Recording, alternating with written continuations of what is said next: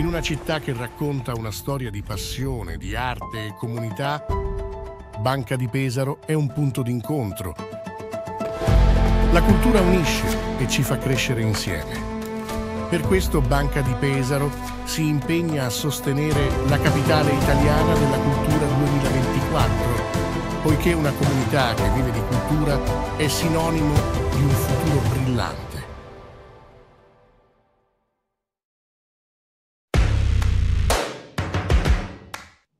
Dal 1973 progettiamo e realizziamo macchine e linee complete di confezionamento. Da oltre 50 anni, flessibilità, cura del cliente, passione e innovazione. Omag è il lavoro di squadra. Come in una famiglia, condividiamo il talento e l'esperienza. Da Gradara e in tutto il mondo troviamo soluzioni innovative per il packaging del futuro, perché il futuro è il nostro tempo.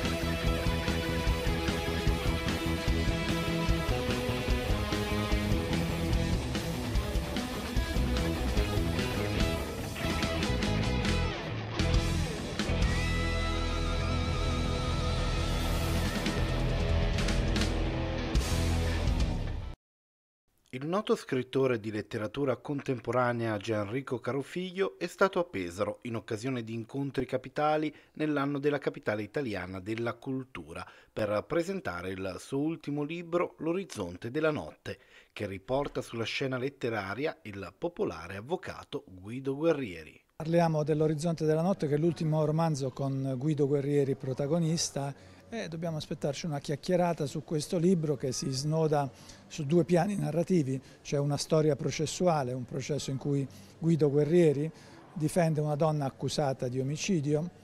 E poi c'è la storia personale di Guido Guerrieri che attraversa una crisi devastante ed è costretto ad andare da uno psicanalista. E le conversazioni con le psicanalista sono una sorta di esplorazione della coscienza di questo personaggio, una specie di viaggio nelle tenebre della perdita, del rimpianto, del senso del tempo che passa, ma anche una scommessa sulla possibilità di andare alla ricerca della felicità anche quando le cose sembrano alquanto oscure. Il senso del titolo è proprio questo. Il settimo romanzo con eh, protagonista Guido Guerrieri, eh, li scrivo con parecchi anni fra l'uno e l'altro perché ho bisogno che ci sia appunto una scintilla narrativa e in questo romanzo io volevo proprio raccontare, me ne sono accorto scrivendo, volevo raccontare eh, del confronto che tutti quanti noi, soprattutto in certe età della vita, abbiamo col senso di perdita, con la malinconia e contemporaneamente però con l'idea appunto che proprio attraversando la malinconia o proprio la tristezza sia possibile scommettere nuovamente sulle possibilità della vita.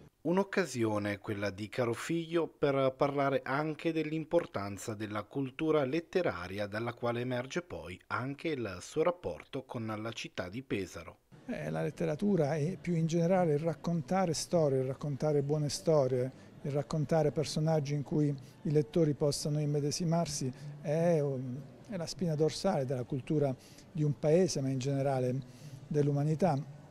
L'idea che in un libro vedendo, leggendo, immedesimandoci in storie di fantasia, riusciamo a capire qualcosa della nostra umanità, è un passaggio fondamentale per l'appunto dell'essere umani. Pesaro la conosco molto bene, ci sono venuto tantissime volte, quindi in realtà posso raccontare di un rapporto di lunghissima data, di simpatia. Ci sono venuto addirittura da ragazzino, quando mio padre faceva il professore, eh, venne qui a fare il presidente di commissione degli esami di maturità, ero molto piccolo, quindi posso raccontare la storia di una conoscenza che dura ormai da parecchi decenni.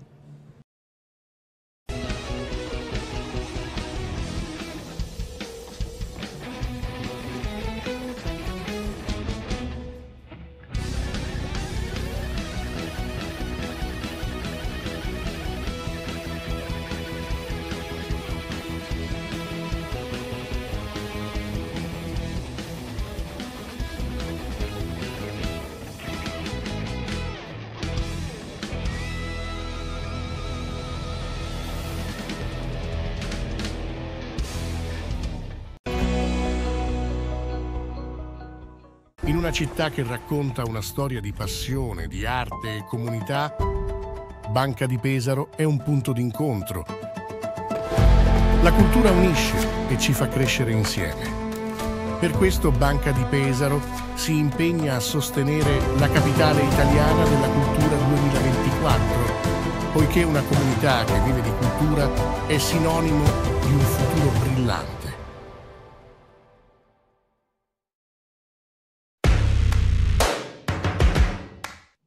Dal 1973 progettiamo e realizziamo macchine e linee complete di confezionamento. Da oltre 50 anni, flessibilità, cura del cliente, passione e innovazione. Omag è il lavoro di squadra. Come in una famiglia, condividiamo il talento e l'esperienza. Da Gradara e in tutto il mondo troviamo soluzioni innovative per il packaging del futuro, perché il futuro è il nostro tempo.